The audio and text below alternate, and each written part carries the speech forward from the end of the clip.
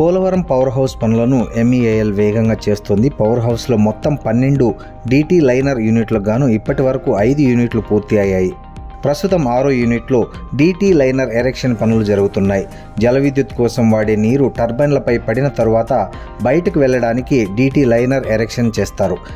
DT liner erection పనుల తర్వాత second stage concrete పనులు ఈ కాంక్రీట్ తర్వాత డీటీ కోన్ ఎరెక్షన్ పనులు మొదలు పెట్టాల్సి ఉంది. పోలవరం ప్రాజెక్టులో నుంచి నీరు సొరంగాల ద్వారా వేగంగా టర్బన్లపై పడడం వలన విద్యుత్ ఉత్పత్తి అవుతుంది.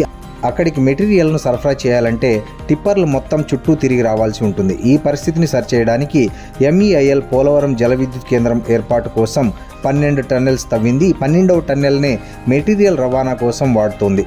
ఏకకాలంలో రెండు టిప్పర్లు ఎలాంటి ఇబ్బంది లేకుండా ఈ టన్నెల్ గుండా ప్రయాణించేలా ఏర్పాటు చేసింది.